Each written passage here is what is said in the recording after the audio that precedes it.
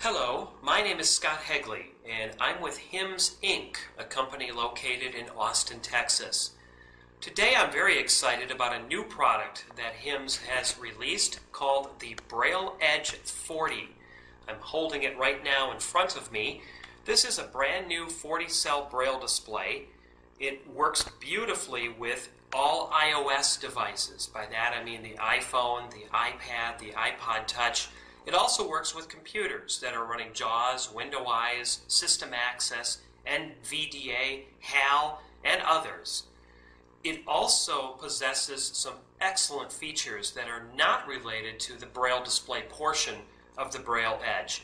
It has built-in note-taking capabilities. In fact, on the left side of the unit, there is an SD slot, and I can place up to a 32 cell, uh, 32 gig SD card inside the uh, the Braille Edge. It allows access to most of those files. I can create files, I can change them, I can save them. So I don't have to necessarily have it connected to any device to use its note-taking capabilities.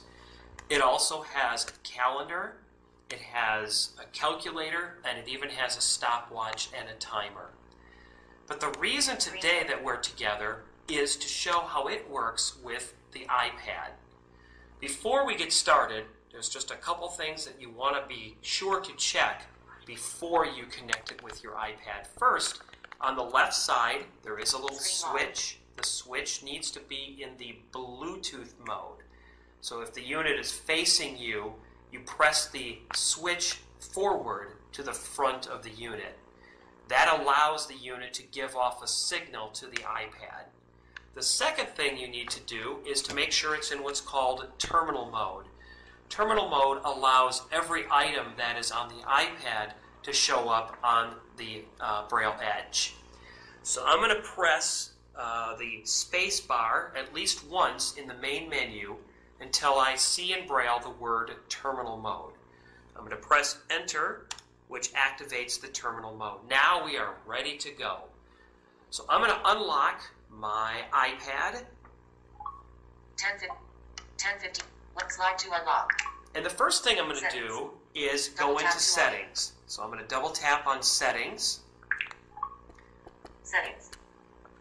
We are already in general under settings. So the next thing I want to go to is accessibility. Reset. Battery. Accessibility. Button. And I'm going to double tap on accessibility. Settings. Voiceover. On. Button.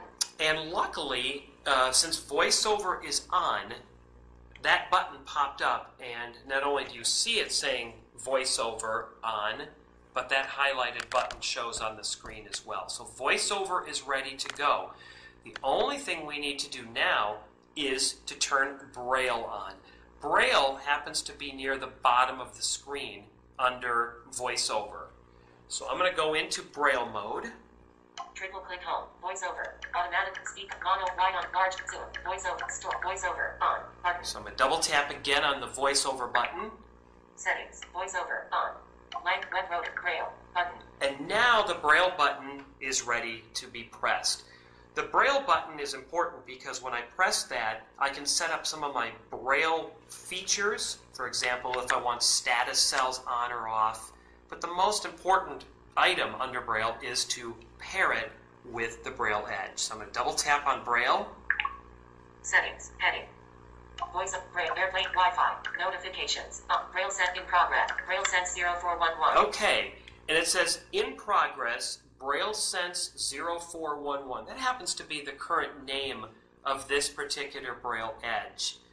But that is the device we're looking for. So it sees it, and it Braille says Braille sense 0411. Not paired. not paired. That's actually good news.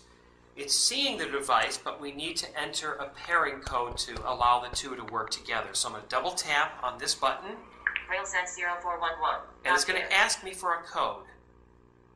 Pin. And the pin key. is going to be zero zero zero zero. And I'm going to go over to the pair button Two. Pin. Pair. Button. and press the double tap, and we're done. And you heard that little boing, that little noise. what that means now is that the two devices are completely together. So if I press the backspace, or if I press the space, or if I press anything else on the Braille Edge, the iPad will follow along, or vice versa. Or if I take my finger and flick on the screen, Voiceover. Back button. Picture frame. Button. The Braille is actually keeping up with whatever I'm doing on the iPad. So I'm going to press the Home key, Settings. Double and I'm back to the home page on the iPad. Again, everything is coming up in Braille on the iPad as well. And I'm going to use the iPad, actually, I'm going to use the Braille Edge to move around the iPad screen. So I'm going to press dot one with the backs with the space bar rather, dot one with the space, and that's going to allow me to backspace through the items. Camera. FaceTime. Game Center. App Store. iTunes. YouTube. Videos. Maps. Notes. And I'm on Double notes. I'm going to tap one of the routing buttons on the Braille Edge and open up notes. Notes. And there's notes open for us right now. I'm going to press dots four in the space bar. Hello. My name is Pat. Button. And I'm going to go to the add button. I'm going to tap one of the routing buttons on the Braille Edge.